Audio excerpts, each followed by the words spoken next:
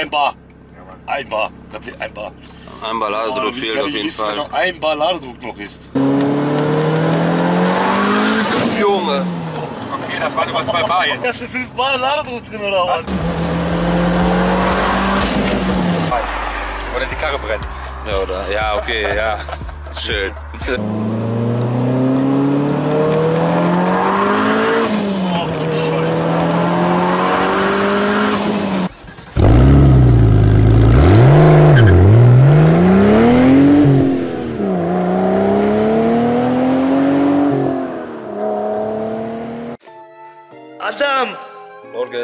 nicht gesehen. Dann haben wir einmal den Benny. Hi. Benny, was machst du hier jetzt? Ich mach gerade ein Software-Update für die Emo. So, wir haben ja hier ein frei programmiertes Steuergerät. Der liegt hier, so sieht das Ganze aus. Quasi das neue Steuergerät, ist ein frei programmiertes Steuergerät. Der wird mit einem Datenkabel an einem Laptop verbunden. Was machst du danach, Benny? Danach schauen wir mal, wie er läuft. Fahren wir Genau. eine Runde, machen Log. Und dann anhand des Logs können wir auswerten, ob wir noch was programmieren müssen. Das ist auf jeden Fall interessant. Ich mache jetzt eben das, was wir loggen wollen, damit ihr wisst, was hier abgeht. Und den Rest sehen wir dann gleich beim Fahren.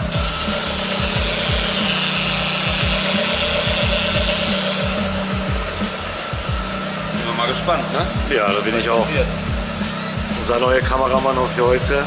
Das wird. Undercover hinten. Das wird kacke. Das wird kacke.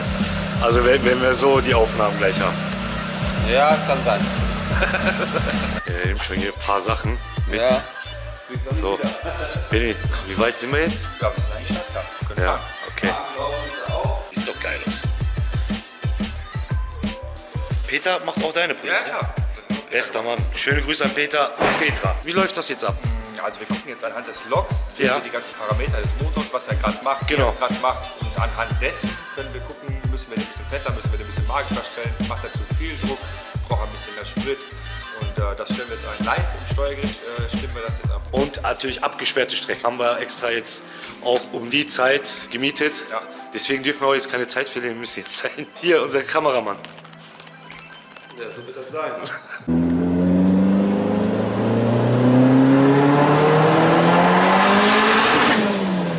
Ab 6,5. 6,5 benutzt ab. Zu fett angefangen hat das bei 5200. Bei 5,6 braucht er ein bisschen Sprit. Bis nach 6,6. Ah, der Gang war aber perfekt eigentlich. War gut, ne? Ja. Hab, ich auch, hab ich auch so Hier ist, gefühlt. er, hier ist er tatsächlich noch sogar zu fett. Da müssen wir ein bisschen Sprit rausnehmen bei 4,5. Ja, obwohl, das können wir lassen. Da fängt der gerade an anzufetten.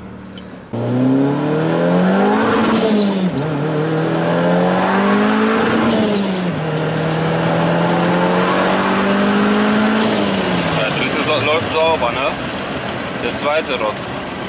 Der Ladedruck ist hier zu schnell hochgegangen und genau das ist das Problem, ja. Und dann fängt er an zu rotzen und dann passt das nicht, ja. Ja. Hier ist er wie festgenagelt vom Lambda-Wert bei Last, ist alles eigentlich top, ja. Ähm, also wir haben hier, im, im, das war jetzt der erste Gang, dann haben wir kurz angehalten, dann wieder der erste Gang, dann haben wir 1,2 Bar. Wie gesagt, das ist der Atmosphärendruck, weil das in Kilopascal gemessen wird. Muss man ein Bar abziehen, also hat man 2,2 äh, 1,2 Bar. Hier in dem Bereich haben wir 1,5 Bar bei 6.500 wie angenagelt. Lambda-Wert ist eigentlich super. Wir könnten mal gucken, ob wir vielleicht mal ein bisschen Ladedruck dazu takten und ob da noch ein bisschen Leistung kommt. Dann schauen wir mal später mit der Zündung nochmal. Voll vergessen zu sagen. Bei dem Steuergerät können wir natürlich live die Daten ändern, auch während der Fahrt oder sogar, wenn wir so stehen und der Wagen läuft. Ne? Kann er alles ändern. Habe ich vergessen zu sagen. Genau. Es hier ab und zack, das Steuergerät hat das direkt drin. Genau. Dann können wir direkt testen, ob das was gebracht hat.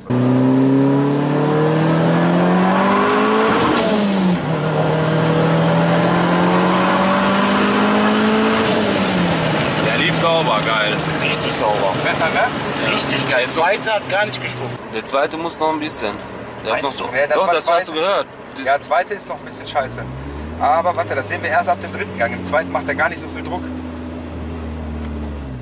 Hier ist immer noch, hier ist zu fett in dem Bereich. Bei 0,6 bei 5000. 0,6 5000. Das, das Geile ist, wir haben den Motor gerade reingebaut und jetzt geben wir schon Vollgas hier. Voll auf die Fresse. Das muss das können. Muss er können. So ist es. Dass er da echt da ein paar Parameter da ändert und dass der Wagen ganz anders läuft.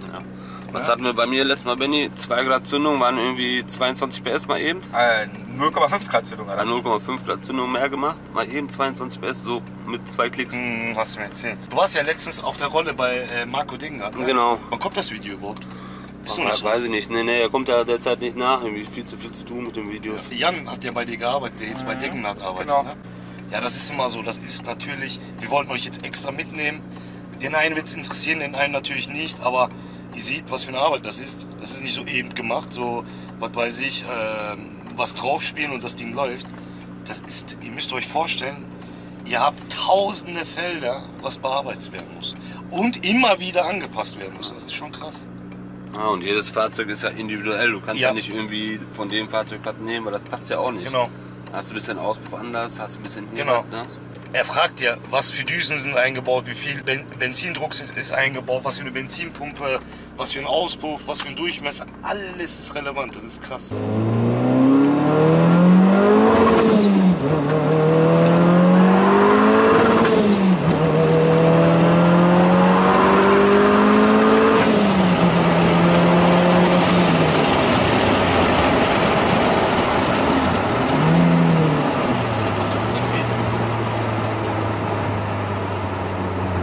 Hat er wieder gerotzt. Ja, sehe ich. Äh, bisschen fetter bei 1,26.000. 1,2. Ballern, ballern, ballern. Ballern!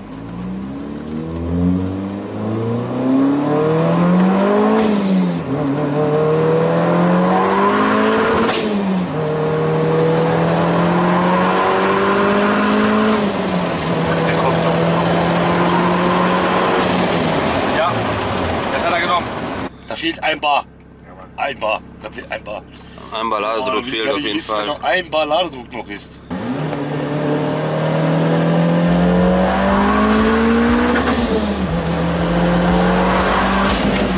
Schlauch ab. Schlauch ist ja noch. Hab ich auch gehört. Na, Gott sei Dank haben wir ein bisschen Aber das war sauberer, viel sauberer. Der macht diese Effekte nämlich nicht mehr. Nee, Schlauch Schlauch ab. ist ab. Scheiße, Alter, wo, wo, welcher Schlauch ist dieser? Das sehen wir gleich. Wenn ich fahre fahr einfach gleich rechts da in diese Einfahrt rein, dann gucken wir eben. Wir haben auch alles mit Taschenlampe so. Ja, stimmt. Schlauch ist abgefallen. Wir lassen den bei, äh, ich würde sagen, ich mache den ein bisschen runter. Ich auf 7,5 lasse auf jeden Fall an. Mach jetzt nicht Zündung aus. Okay, alles klar, jetzt kannst du alles machen. Ich glaube, die geht auch gleich Ich habe gespeichert, ist egal. Das war sauberer, ne?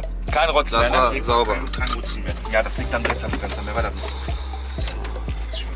Machen Sie jetzt? Wir müssen jetzt den Ladedruckschlauch. Ladedruckschlauch, also was ihr könnt ihr uns sehen überhaupt. Wir Ja? müssen jetzt den Ladedruckschlauch einmal dran machen. Das ist, das gehört dazu. Ja. Das ist normal. Das ist normal. Also ich hoffe mal, der ist da noch rausgeflogen und nicht kaputt gegangen. Schelle ist weggeflogen. Ich glaube, du hast eine Stelle im Kofferraum gehabt. Echt? Aber habe ich glaube ich nach hinten geschmissen, oder? Ja. Ja. Habe ich. Alles da. Warte mal, kann man das nicht rausräumen? Ja, eigentlich schon.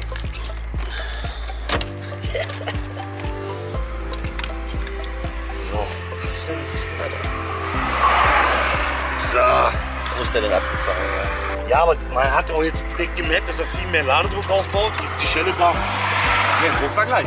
Super gleich. Druck war gleich, nur mehr Leistung. Ach so, mehr Leistung. Naja, mehr Leistung durch mehr Drehzahl einfach. Mehr würde ich nicht geben mit Se Kopfserie, ne? Koffeeserie, Bruder. Ja, dann würde ich das so lassen. So mit der Leistung? Ja, mit Drehzahl.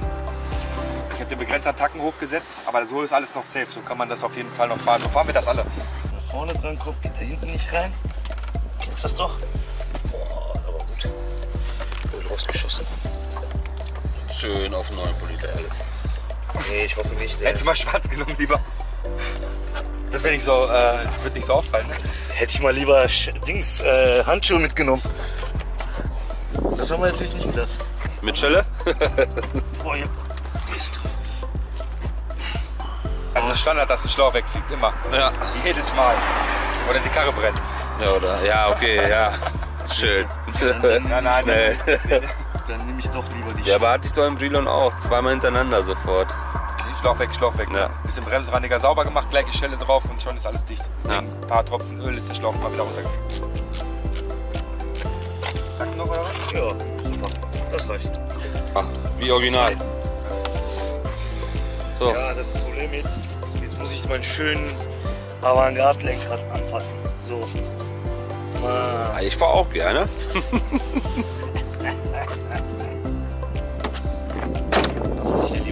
lieber noch? Ja, ne? Also, dein Fach heute sehr schön. 21% Windfleck.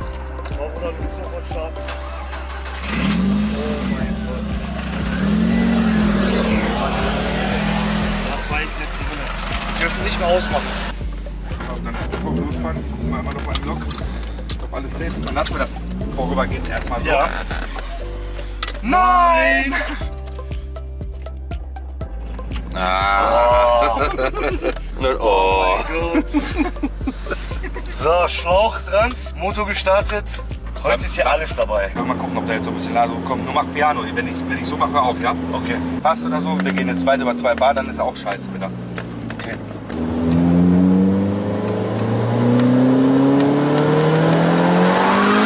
Junge. Okay, das waren über zwei Bar jetzt. Jetzt haben wir mal Ladedruck. Ey, wir haben Ladedruck. Alter, was war das denn? Alter. Ich hab da was entdeckt. Boah, ich hab meine Stücke wegschluckt. Was war das? Benni, hast du fünf Bar Ladedruck drin oder was? Warte mal, ich muss mal ein bisschen. Mal ein bisschen. Ah, warte mal, ich hab eine. Idee. Ja.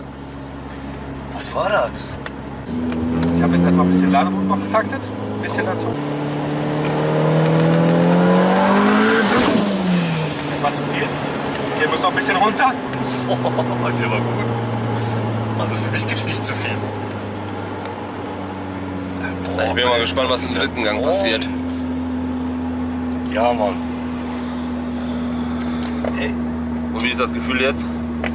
das ist jetzt richtig geil. Also jetzt haben wir eigentlich mal zwei, also über zwei Bar. Und das merkst du direkt. Ja, ist ein Unterschied, ne? Junge, das sind jetzt 500, 600 PS, sag ich dir.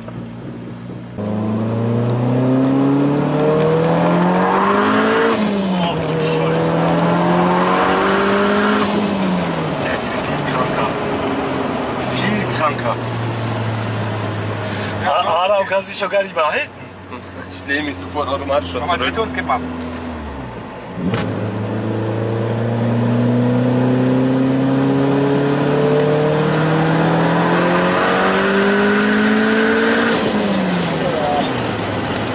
Ja, so lassen wir das. So gefällt mir das So auch. gefällt mir das auch. Das ist besser, ne? Ja, ah, das kannst du nicht vergleichen mit Bruder, das vorhin. ist ja wie Aber so Tag läuft, und so Nacht. läuft noch richtig sauber, ne? Ja. Ja, kein Rotzen, kein Stottern. Lam, Lambada ist auch da. Gut, ne? Boah, Bruder, jetzt macht's auch Spaß. Kann ich nicht.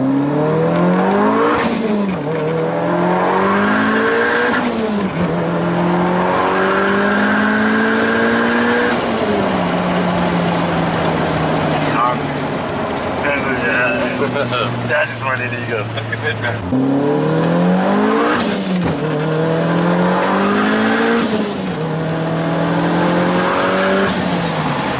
Der läuft gut. Hammer, läuft gut. richtig gut. Aber ich denke, für heute Reicht. ist auf jeden Fall top, ne? Und Nummer zwei. Einmal geht noch. Was ist das?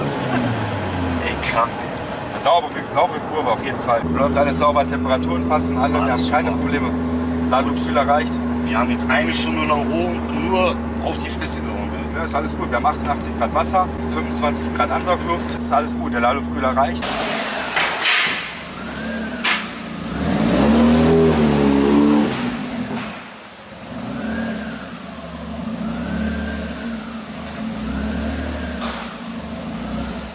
So, Turbo haben wir ja nachlaufen lassen, ne? Ja, Also, hier muss ich einmal nochmal, Benny, ehrlich. Geil, was hast du da rausgehauen? Danke. Und nochmal hier für meinen Kameramann heute. Also krass, es ist wie Tag und Nacht. Ich muss noch ganz kurz so erklären, warum wir jetzt den Motor ausgebaut haben, weil wir die neue Kupplung eingebaut Weil er gerutscht hat. Und darum hat er die Taktung runtergenommen von dem Boost. Und das wusste Benny natürlich nicht. Und es war spät wollten wir nicht an. Deswegen hat er das erst später gemerkt. Und dann hat er auf einmal Boost drauf gegeben. Das hört sich jetzt ganz leicht an, ist es nicht. Wir haben jetzt einen kleinen Eindruck, wie das ist. Wir haben ja gesehen, wie viele Felder du bearbeitest. Das ist klar. Weil wir haben ja alles nicht auf. Hätten wir euch nur gelangt. Aber das mal eben war auch mal locker eine Stunde. Was auch wichtig ist, der Wagen kam zurück von alleine. Also ja, äh, er fuhr zurück. Ne, wir wurden nicht abgeschleppt. Heute eingebaut und direkt auf die Fresse. Du siehst sogar, wir haben jetzt 20 Kilometer gefahren und die 20 Kilometer waren nur Ballern. Also warm fahren, gefahren und dann clean. So ist das dann? Ja. Das müssen die aushalten. Oder das machen muss. Ja, ey, Benny, ehrlich nochmal Dankeschön. Mal gerne. Ja. Und Benny, ich würde mich wieder freuen, wenn du mal hier deinen YouTube-Kanal hier Vordermann bringst. Ne? Ja, ich sag mal, nächstes Jahr greife ich auf jeden Fall auch mal wieder an mit meinem Auto und Ja. dann äh, gibt es bestimmt auch ein paar neue Videos. Benny Ähm, Motors. Bennys Motors gibt es ja nicht mehr, ist jetzt Greiners Motors. Ich habe mich mit meinem alten Herr zusammengetan und äh, Aber wie ja, heißt wir greifen an. dein YouTube-Kanal? Wie heißt du nochmal? Greiners Motors. Das Modell, aber verlinke ich ja unten. Jeder, der mit 1.8T Fragen hat und Reparatur braucht, Benny. Und ja, Pulli, ist Bescheid. Ich habe es ein bisschen dreckig gemacht. Ist jetzt erhältlich, ne, so nebenbei. Könnt ihr gerne bestellen und die Tasten auch. Das ist ein Druck, ne? Das ist kein, das ist nicht, äh, das ist ein Druck. Also nicht gestickt oder so. Also auch nicht so irgendwie, ja, weiß ich nicht, wie die das gemacht haben. Keine Ahnung. Also ich habe es schon gesehen, wie sie es gemacht haben. Aber das ist schon krass, das ist wie Farbe. So, Kamera sagt jetzt auch Feierabend, weil Batterie gleich leer. Okay, er hat zu viel geredet. Dankeschön fürs Zuschauen. Euer Kraft.